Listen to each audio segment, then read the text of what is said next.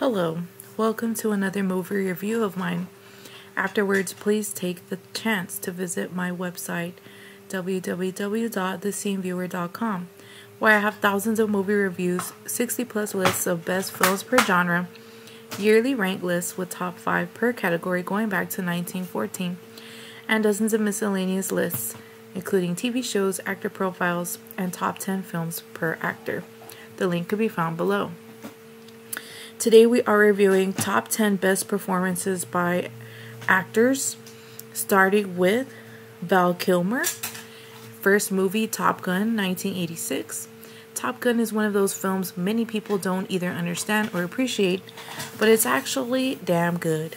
Tom Cruise is in his full blown movie star mode.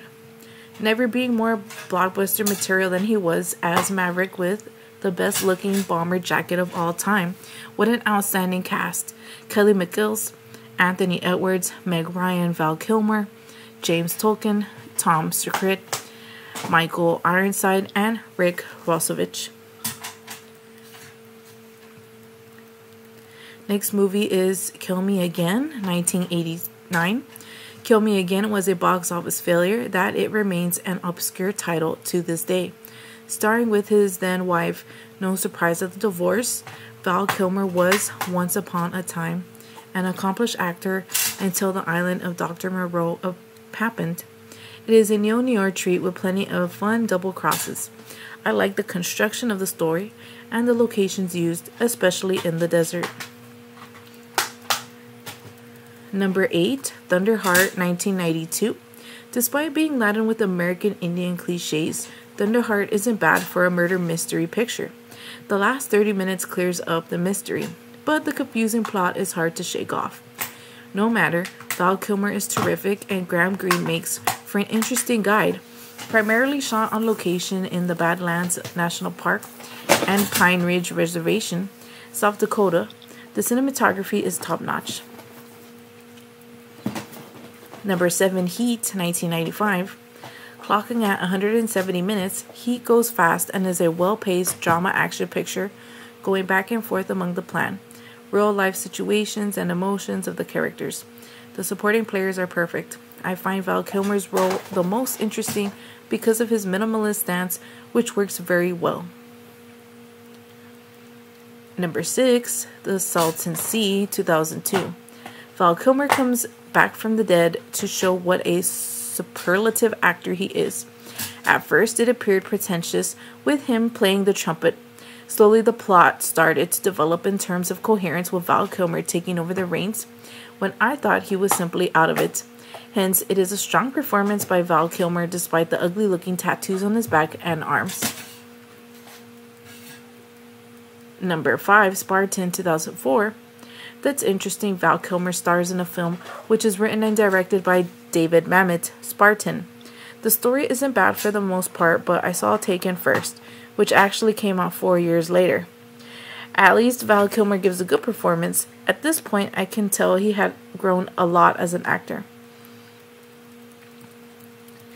Number 4, At First Sight, 1999. Had At First Sight seen been filmed during the 50s, it would have been a staged play. Thanks to Val and Mira Sorvino, it never happens for a minute. Their realistic acting is the best thing going. A top notch actor, he certainly understands the requirements and plays his role to perfection. Mira Sorvino is a natural. They make the movie their own, which is sometimes sensual. Number three, The Ghost and the Darkness, 1996. Compelling stories make great movies, and that's the case for The Ghost and the Darkness. Val Kilmer is an underappreciated actor, and when given a difficult role, he manages to rise to the occasion. It doesn't hurt him to have terrific looking hair. All the kidding aside, Val Kilmer carries the show very well despite having been recently beleaguered during the filming of the island of Dr. Moreau, which is impressive if I think about it. Tombstone 1993.